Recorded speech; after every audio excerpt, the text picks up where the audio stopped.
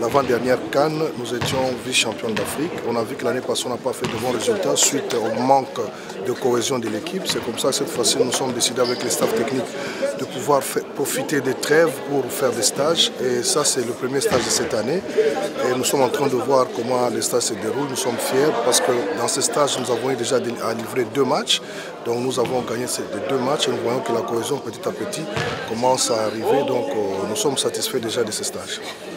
C'est un processus de, de, Tout à fait, tout à fait. Vous savez que nous avons cet objectif de renouer encore la Coupe du Monde parce que nous avions raté l'année passée la Coupe du Monde. C'est comme ça que nous sommes décidés cette fois-ci de faire mieux parce que pour passer par la Coupe du Monde, il faut les trois premières équipes.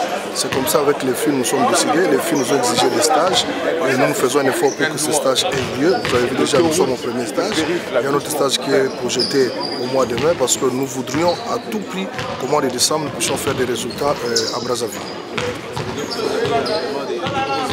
Tout à fait, tout à fait, parce que vous savez que euh, nous avons été troisième, nous avons été deuxième, mais nous n'avons jamais été premiers. C'est comme ça que nous sommes décidés cette fois-ci à commencer déjà à nous préparer à temps pour qu'à Brazzaville nous puissions vraiment euh, le mieux, c'est-à-dire l'objectif principal, c'est de se qualifier pour la Coupe du Monde et pourquoi pas aller chercher la première place. Nous savons que l'Angola, en faisant plus de stages, il y a une cohésion entre ces filles-là. C'est comme ça que nous aussi nous sommes dit qu'il faudra multiplier des stages pour permettre à ce que les filles qui jouent sur place en France et celles qui jouent en Afrique puissent travailler ensemble afin de parfaire leur cohésion.